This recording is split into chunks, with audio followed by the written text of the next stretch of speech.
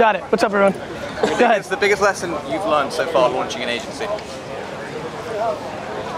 Go, Gary. You've been doing this. Uh, the biggest thing I've learned that um, that there's when you do B2B, I've always done B2C in my life, right? Sell something to somebody, but when you're in the middle, um, there's a lot more resistance because you're relying on someone in the middle to make a subjective call on your innovation.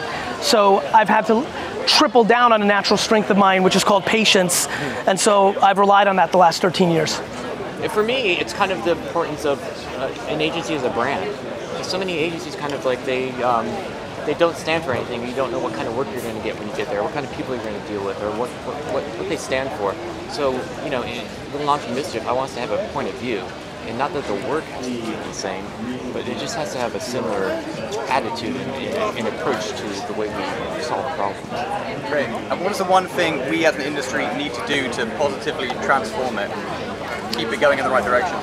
over communicate intent to each other as humans. The collective conversation of good intent is incredibly powerful. And so the more it's on people's minds, the more it will show up in everything. Not only the work, but the way that people do comms planning and, and where they distribute it. Um, and I'm really proud because I do think the world, and this world specifically, uh, is trying.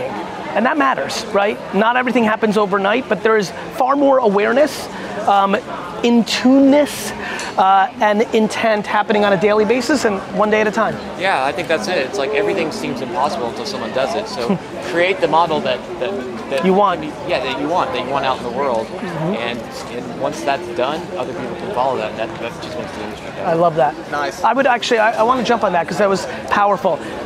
No question, within the first 12 months, once I understood what the hell I was doing here, I said, I want to build Vayner so that lots of other people build Vayner in the future. And um, it really resonated what you just said. Like, if you want it, then build it, and then people have a blueprint to copy it. I'm gonna be so happy when people are going to out Vayner us in the future. I'm gonna tell my people, like, see, fuck, I told you, you know. But but I but I want it in a way because it's the it's good for everyone. We'll still get ours, and so I, I think about that a lot. That was an interesting insight. Describe your agencies in one word. Magical. Tenacious. That's good. We've got some hot takes. Any, any Hot other questions? We good? You good? And that's it. Very well done, my friends. Stay well. Yeah, it's a pleasure.